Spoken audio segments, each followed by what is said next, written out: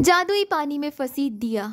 मोक्ष ने बचाई दिया की इज़्ज़त। कल इस टीवी शो सुहागन चुड़ैल के आने वाले एपिसोड में हम सभी देखेंगे कि निशिगंधा की मूर्ति मिलने के बाद दिया घर वापस लौट जाएगी। दिया को फ़िलहाल इस बारे में कोई आइडिया नहीं है कि वो निशिगंधा को कैसे हराए, वो निशिगंधा को कैसे रोके। शादी की तैयारियों के बीच में वो निशिगंधा को हराने के बारे में प्लानिंग कर रही होती है कि तभी अचानक निशिगंधा दिया पर जादू करती है और जादू से निशिगंधा दिया को पूल में डाल देती है। वैसे दिया को स्विमिंग करने आता है और वो इस पूल से आसानी से बाहर भी निकल सकती है। लेकिन निशिगंधा की जादू की वजह से इस पूल में स्विमिंग करना और पूल से बाहर निकलना दोनों ही दिया के लिए बहुत मुश्किल हो रहा है। कि तभी वहाँ पर मनीष आएगा। मनीष दिया की मदद करना चाहता है। दिया पहले तो सोचती है। वो मनीष की मदद नहीं लेना चाहती है, लेकिन फिर भी वो मनीष के हाथ को पकड़कर बाहर निकल जाती है।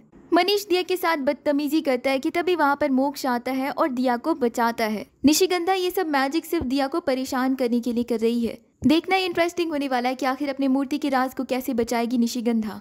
अब क्या कुछ कहना है इस पूरी अपडेट को लेकर? आप अपना ओपिनियन हमें कमेंट के ज़रिए ज़रूर बताइए। और साथ ही टेलीविज़न से जुड़ी सभी लेटेस्ट अपडेट के लिए सब्सक्राइब करिए हमारे चैनल को।